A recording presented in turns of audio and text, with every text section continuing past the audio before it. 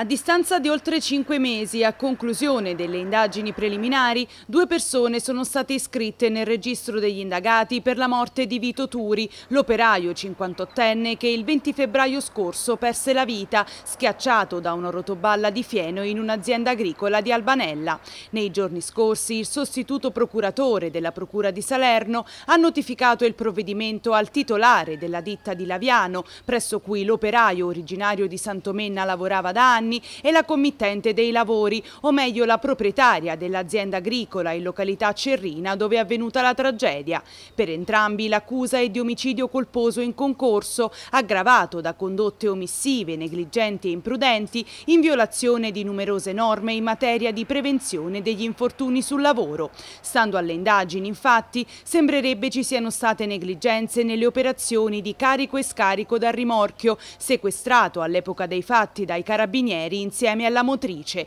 I due indagati avranno ora 20 giorni di tempo per chiedere di essere ascoltati dagli inquirenti o presentare memorie difensive, dopodiché sarà il pubblico ministero a decidere se chiedere l'archiviazione o il rinvio a giudizio.